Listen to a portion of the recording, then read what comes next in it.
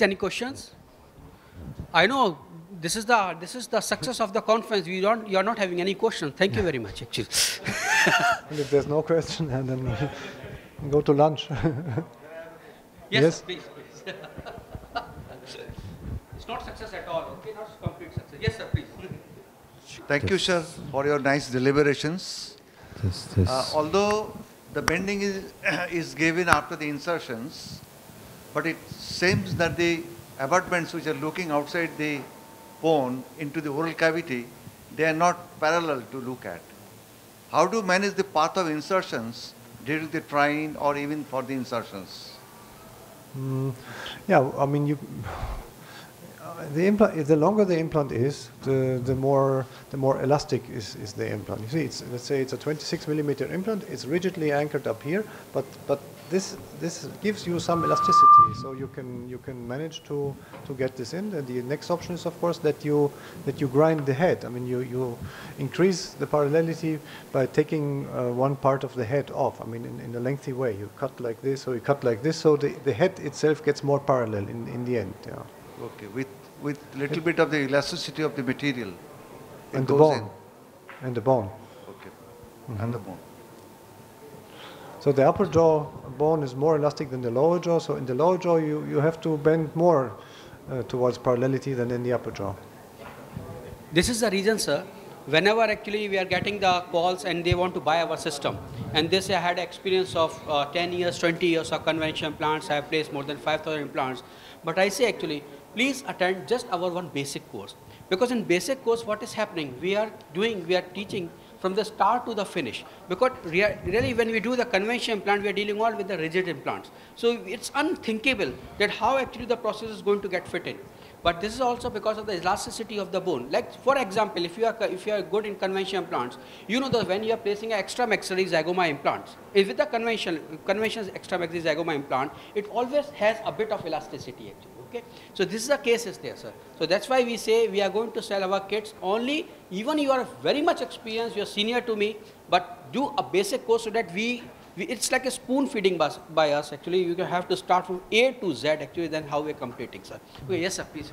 Uh, I Yeah, of, of, of course, there's also angulation adapters. You can cement an angulation adapter, adapter onto the head of the implant. So this, this creates angulation 15 degrees or 25 degrees. And it, uh, it depends, of course, on the experience of the treatment provider uh, with which angulations he can cope. Um, basically, this is a the question that, that is answered by the dentist technician. Um, and you can talk maybe to Yura Mitroshenko. I don't, I don't see him at the moment. He, he gave the lecture yesterday, uh, the dentist technician from Moscow. And he tends to say if he makes a bridge for me, no need to use angulation adapter, no need to do anything. I will put anything in.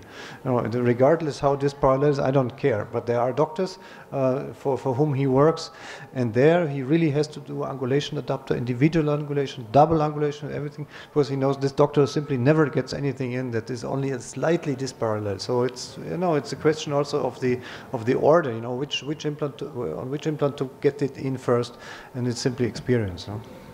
I mean, I don't care too much about uh, remaining disparallelity. Sir, uh, my question is regarding a full arch or a full mouth. Here, sir. Uh-huh. Uh, do the number of implants per section counts, or it, it should be equal, symmetrical? Uh, the implant per uh, the implants per side. Yeah. No. We don't have to be a symmetrical or number in I equal think quantity. If you, I mean, a minimum I'd say per site is four. And, uh, I mean, best to put ten in the upper jaw, but sometimes it's not possible. Sometimes even I manage only four, then, then maybe I will put six on the other side. Doesn't have to be symmetrical. no. Only the prosthesis needs to be symmetrical on each side. Yes, yes, of course. Yeah, the prostate is this is the road. I mean, this is the guideline for the mandible. No? Thank you, sir.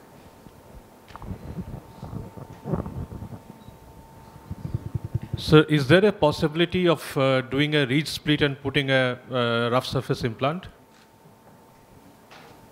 I, I, I don't understand the rough surface PCS. No, no, no. KOS, KOS. A rigid splint. Reed split.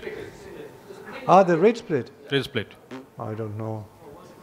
I, I, I don't do that. I mean, why you want to do that? If, if the problem is on the palatal, in the upper No, jaw? no, no, no, no. Uh, remember, uh, Dr. Vivek, uh, we had this uh, girl who's underdeveloped, and even a three with a three uh, millimeter KOS, we had a failure.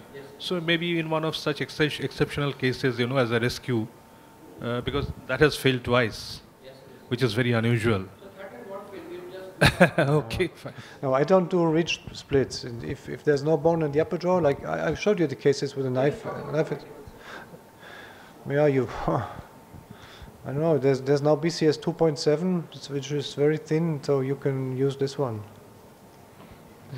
Uh, sir, uh, for the tuberopterygoid implants, uh, you mentioned we need to stay between the two fissures. Uh, the lower fissure is uh, relatively easy to uh, imagine, but the upper fissure, do we have any clinical landmark which would suggest that this is probably the level wherein the upper fissure would be? No. No, on average, the, the height of, bone between those fissures is around 11, 12 millimeters, and the width also. I mean, you, you, you have this kind of square, this football field to hit.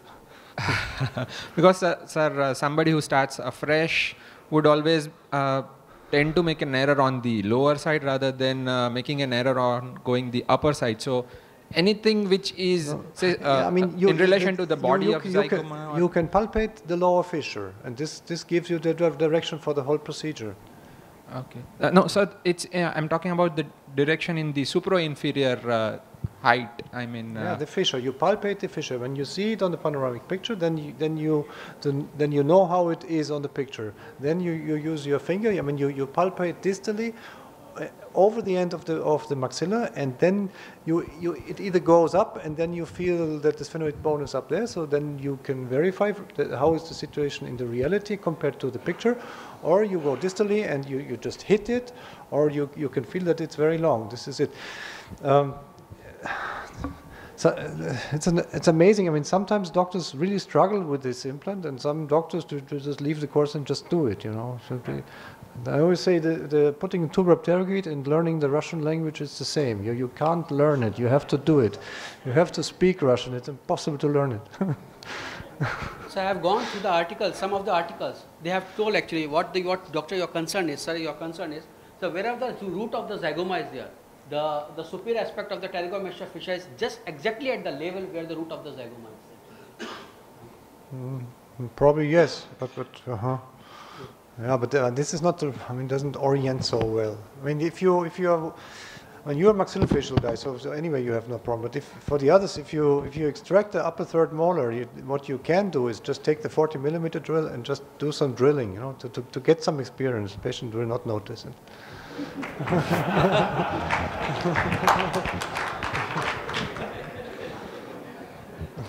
I mean, everybody has to contribute to science, you know, also patients. Uh, sir, yesterday in Dr. Virendra's uh, uh, session, uh, we were told about the mylohyoid and their, their ridges.